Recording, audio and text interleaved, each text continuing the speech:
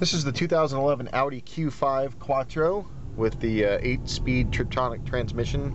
It does have a turbo four-cylinder which produces 211 horsepower, uh, which off the cuff might not seem like a ton, but when you consider the um, the small, relative small size of this vehicle, it's actually uh, quite capable and uh, has some good pep to it. So I'm just going to point out a few nice features of this uh, particular car. This car did not come with the onboard navigation. Uh, this is the main uh, control screen however that does give you um, all of the feedback that you want to know for your uh, sound system which is down here. Um, it also lets you set variable parameters with the car like the lighting system the automatic door locks uh, and of course it has the whole Bluetooth uh, integration as well. So very neat feature uh, very easy to read um, very intuitive. Uh, it's pretty easy to use for the most part you can see that the, there's corresponding words here and those correspond to the buttons down here. So overall very easy to use. Car also features dual climate as you can see dual climate control um, a little lighter in there and uh, additional storage in here with some CD holders. I'm not sure how many people use CDs anymore though. And uh, it also does feature a, um, a hookup here for a an iPod so kind of handy. You could plug your iPod in right there, and it has, actually has a nice little cradle that pulls out for your iPod or iPhone, I guess. And um, yeah, so overall, very very good. Uh, sound system's really nice.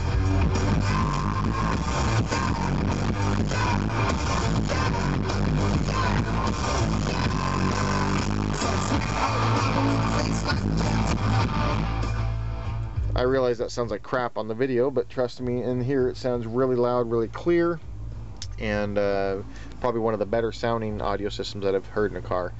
Doesn't support the USB uh, devices, but it does have this handy little uh, SD card reader here, and you can put your MP3 files on there like I have right now and play them off of that. So that's a very handy feature. Um, very easy to read, nicely laid out analog gauges. Uh, it does have an information screen here that will point out uh, different things to you like uh, well you can see now I got it hooked up to my phone so it'll you know I can scroll through my phone book go through the phone numbers as I'm driving uh, without taking a whole lot of eye, eye movement off the road I guess. But um, very nicely uh, fit and finish interior here. It doesn't have your typical door locks as you might notice. See there's no lock there no lock there. Uh, it does have a red light however that will turn on when the doors are locked so this doesn't have the uh, blind spot indicators, but in the mirror, in the side mirror here, you'll see a little dot there on the le far left. Uh, that's a basically just a turn signal. I'll turn my, you can see it flashing there. So uh, kind of a neat little touch. One of the cool things about this car, go ahead and pull over here and as I point this out, is a really nice sunroof system, and you'll see here. So going up here is you'll see the control knob for the sunroof. Uh, inside here is the button to move back the, the screen. I'll do that now and you'll see that the screen opens up a very nice large window pane on the roof.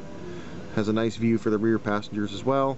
Uh, obviously that part of the glass does not open but uh, go back here and turn this knob you'll see that the sunroof opens up like that. So very nice touch. Uh, if you like sunroofs, it's probably one of the nicer ones that I've seen and uh, very easy to use. Uh, the, the only drawback of this system, of course, is that you don't have a true uh, ceiling line and the fact that all the best you can hope for is the uh, the mesh screen, which I'll roll back now and you can kind of see what I'm saying.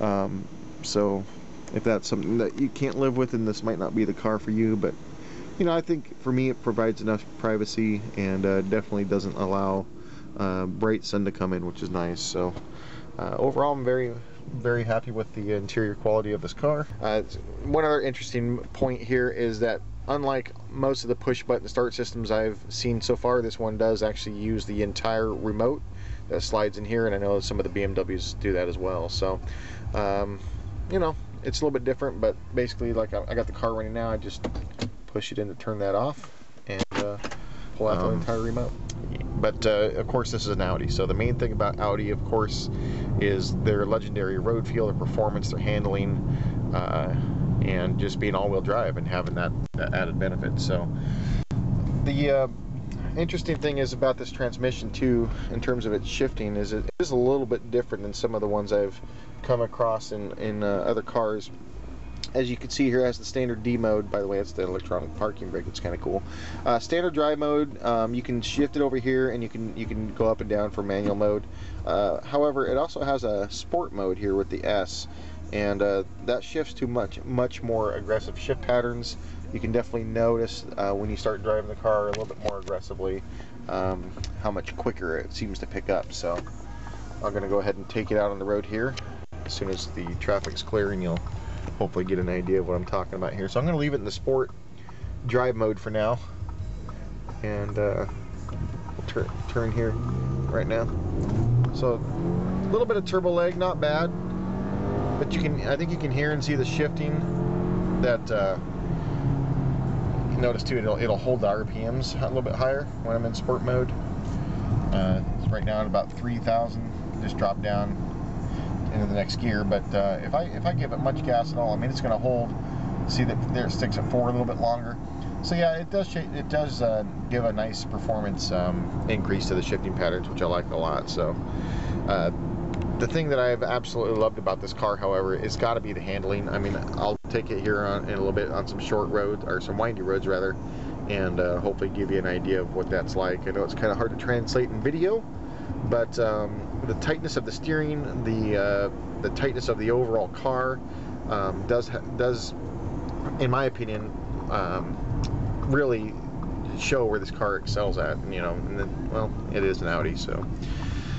Uh, it's just very little body roll. It's very tight. I know some people aren't going to like the ride as much as maybe cars that, that give up a little bit some of that, but if you're a, if you want a driver's car that lets you feel the road, then this would definitely be the car for you. I mean, you can almost feel the tires gripping on the pavement. It's it's a very cool feeling, uh, one that I like. With the 2011 Q5, Audi has developed a smaller crossover SUV that's priced from the mid 30s to low 40s which delivers on the legacy Audi handling, ride, road feel, and power that we've come to expect. If this at all sounds like your type of vehicle, then I would highly encourage you to seek out your local Audi dealer and give one a test drive today.